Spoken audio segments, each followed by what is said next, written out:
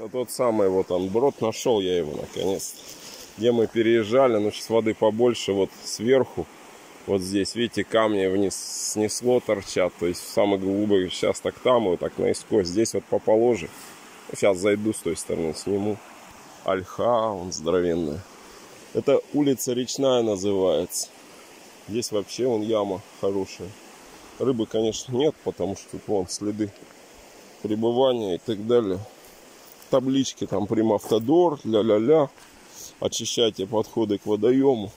И там вот перекат такой. Обалденно, просто красивый. Но вода ледяная, поэтому недолго не простоишь, не прокупаешься даже сейчас. Самый разгар лета. Только так забежать, окунуться и все.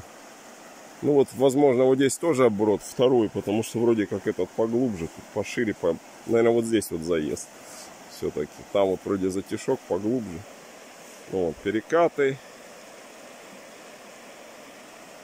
Бежит речка к горам.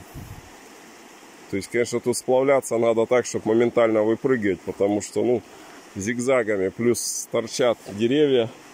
Ниже она будет глубже, шире, но там будут и заломы покруче. И также точно там, где глубоко будут торчать деревья, плюс будут сплошниковые заломы, поэтому это здесь вот более-менее.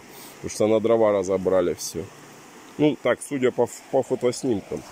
Была мысль по ней сплавиться на каяке, но я ее что-то отмел, потому что глянул на залом. Не отсюда. Гораздо ниже есть участок. Ну, до него добираться километров, так, по-моему, 60 еще.